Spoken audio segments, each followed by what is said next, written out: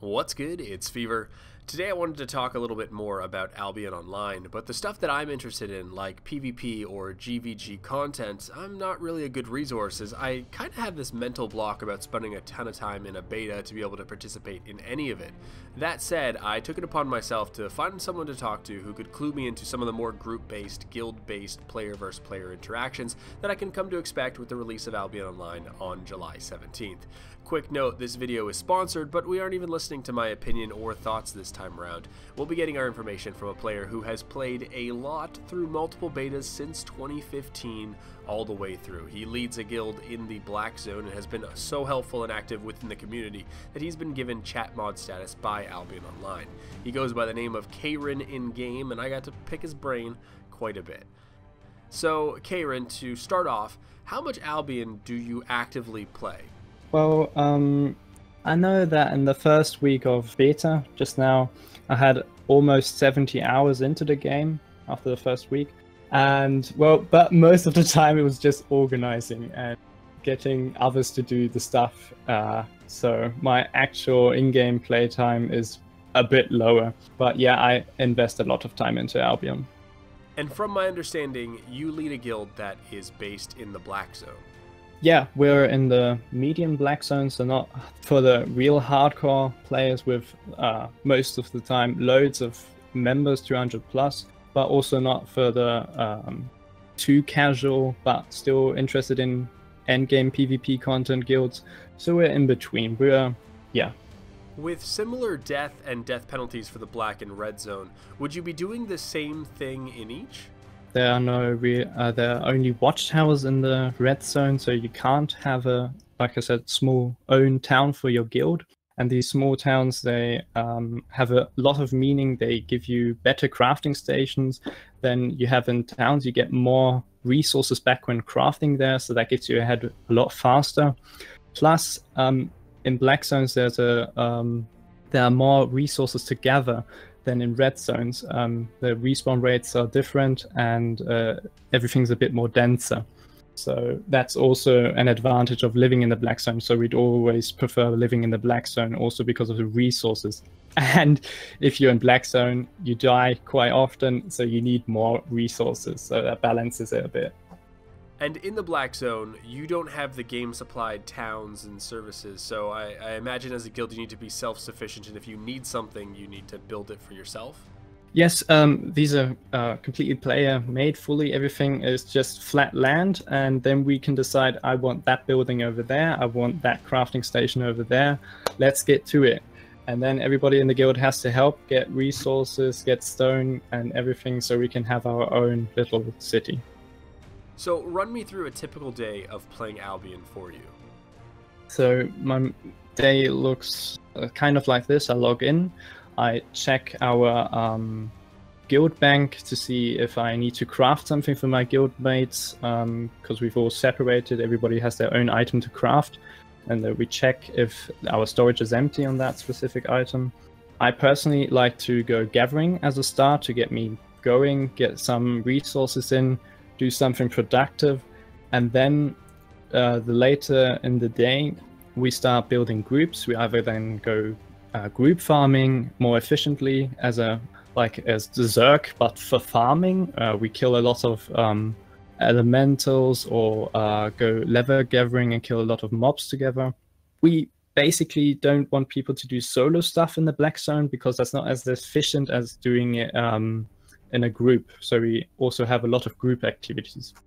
Then it comes down to what you like to do. Uh, either you're a PvP guy or you're not so the PvP guy, but you enjoy the Black Zone because of its other benefits and accept the fact that you could be attacked, but you also have your guild in the back that you can call for help anytime.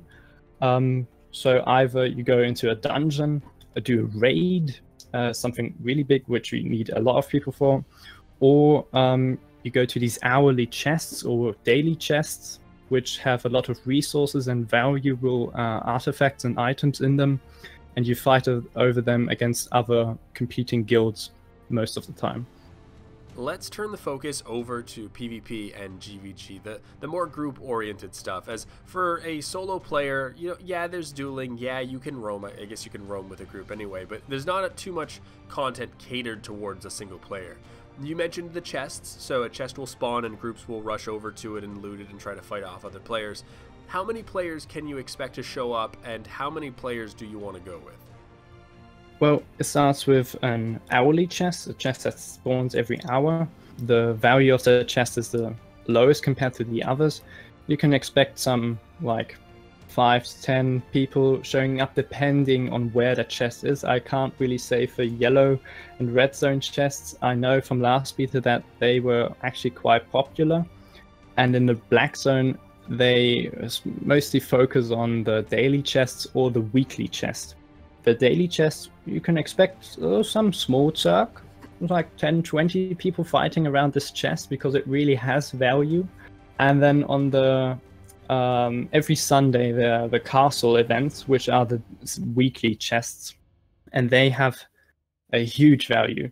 You you need your whole guild as a transportation means to get all the loot inside the chest from A to B, and you need everybody in your guild to um, try and conquer the castle. It's the biggest open world PvP event, which happens every Sunday, and every high tier guild and every low tier guild uh, kind of tries to get into another guild just to take part in that event.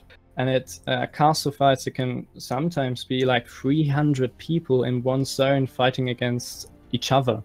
So it'd be um, one alliance and the normal uh, yeah, occasionally has the castle and the other tries to attack it. They have to break down the gates of the castle first and then get through the NPCs which respawn and they're also quite strong depending on how your guild is built up. And that all in all takes about two hours. So it's a lot of preparation uh, before that and then but the reward if you are able to take it is just huge. So the way this all sounds is that there aren't any hard fast rules. It's just as the rarity of a chest goes up, there are just different types of rewards or more rewards. And so the group sizes will self-regulate because you aren't going to create a group of 20 to fight over a chest that only drops 3 items for 20 people to split. But I do want to know if any of the drops from these chests are exclusive to the chests, as that could force guilds to strong arm even the, the lower chests with huge zergs. Yeah, it's um, nothing exclusive. You can get those stuff uh, by doing other things, just not in that amount and in that short period of time. And also high tier and valuable artifacts, which can be uh, used to craft even better weapons. So, those are more of the open world objective based stuff. What can you tell me about the GVG territory combat in the game? I checked out your YouTube channel and I saw a bunch of it there. Yeah. well, um, we use the material I upload to um, sit down, talk about the fights afterwards, so we can strategize afterwards. It basically works like this. Um, a guild either has or does not have a territory. If the guild does not have a territory, it can go to a war camp and declare war on the nearest territory uh, next to the war camp. Every territory, every zone has its own time zone, which consists of four hours. Uh, so let's see, our our plot uh, is attackable from 18 UTC to 22 UTC. So if somebody declares uh, an attack of, uh, on our plot from one of the plots which are connected to our plot, uh, if you can follow me, um, it will always start at 18 UTC. Our first GVG is always on 18 UTC these are almost 5v5 arena battleground type fights like nobody can butt in. That hopefully i'm showing off on the screen but how often do these actually happen? I actually almost have a fight every day and then after you win or you lose, you either have a counter attack because you smashed the enemy and um, you can now counter attack because you were so superior against your enemy. You have the ability, you have the chance to counter attack and take their plot. So you have another GVG. And if you take their plot, then they have the ability to say, oh god, we lost our plot. We now are allowed through the game to um, punish you by attacking from a other plot which is uh, in the area So we have another GVG, and then you can go on forever. If if you always smash the enemy, of course, and if they don't run out of plots. But it's mostly if you have one GVG, you can reckon you have like two others uh, as well. That's good to hear. The, the, these GVG fights are what really interested me. It's just these prolonged MOBA esque team fights. I know that when you die, even in these fights, you do lose your gear. So, do you bring multiple sets of gear? And what kind of cool stuff can you do, like bringing in separate gear as like a sideboard so you can change your battle tactics as a response to kind of like what you see? Um, you have like uh, once you're in combat, you have a 20 second uh, cooldown before you get out of combat, before you can swap swap gear. Um, it is possible you take uh, a lot of sets into the uh, GVG. I'd advise everybody to take at least five sets, um, five complete sets into a GVG. You have your chest, you put everything in there, and once you die, you re-equip. But you also can, uh, if you have the time, which you most of the time don't have, you can go back to the chest and get other gear out. That's no problem. So why are these territories fought over by players? You know, why fight outside of it just being fun? But outside of just fun, yeah, it's um, you have your own like, if it's about your home plot, it's it's your home. You've been working on it for weeks, for months, uh, to get it onto the level it is now. And if another guild wants to take it, it's not like um, everything that disappears on the plot once they take it. They actually can take our home plot, our town, our uh, private town that we built up with all our high tier uh, buildings standing on it. They can just take it if we um, lose GVGs. And, and, if we still have something left in chests, uh, we didn't manage to evacuate fast enough. Um, uh, which we'd have to do the day before once we know we're probably going to lose because we have three three uh, every home plot has three shields. So you have to lose two behind each other and then decide are we going to risk it and stay here? Or are we going to uh, evacuate and take everything with us because we're probably also going to lose the third and last fight? And if something stays there that's for them to take as well And with these territory fights, because they are restricted to 5v5 and you can plan around them based on a time window, they must allow smaller guilds to at least compete for territory against larger guilds. Yeah, uh, if it's not about a, a, real city, not like the player made um, home territory, but also, I don't want to say the cities aren't player made because all buildings there are also player made. Um, the real cities, I should say, those are 20 versus 20 fights, but everything else GVG wise is 5 versus 5 and it really comes down to your skill and equip. You have to uh, kind of try to outgear, but it's not necessary. Better gear does not automatically give you a win. It also comes down to your setup. If you have a, a good healer, if you have uh, a melee who uh, knows when to charge in, and etc. etc. All right. Just a, just a quick note. He's the healer in his group, so take what he just said with a grain of. Well, uh, you know, healers are important.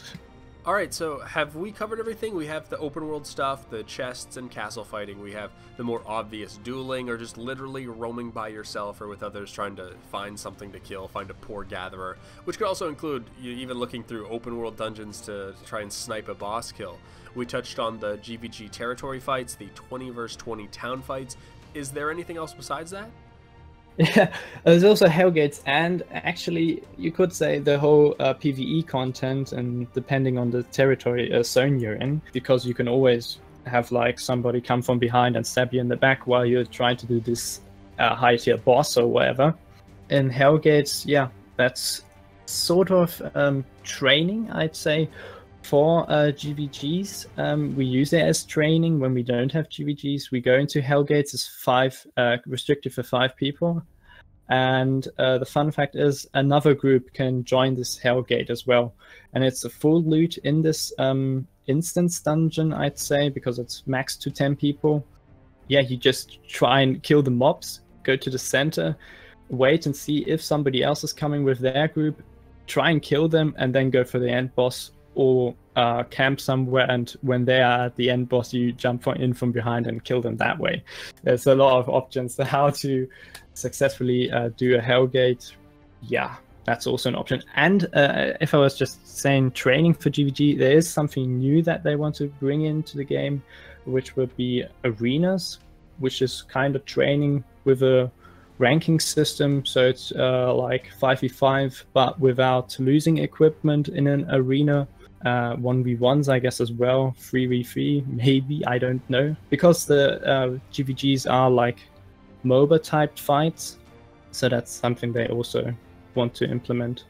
So I sit here and I think about a player who solely wants to PvP and nothing else. And it seems like there's a drip of content every hour that's a chest, every day that's a stronger chest, every week, which is something to plan around for, and on top of that, different zones may be up for scheduled GVG attacks or defenses, or they could literally just go looking for trouble roaming or check out Hellgates or practice fighting in a duel.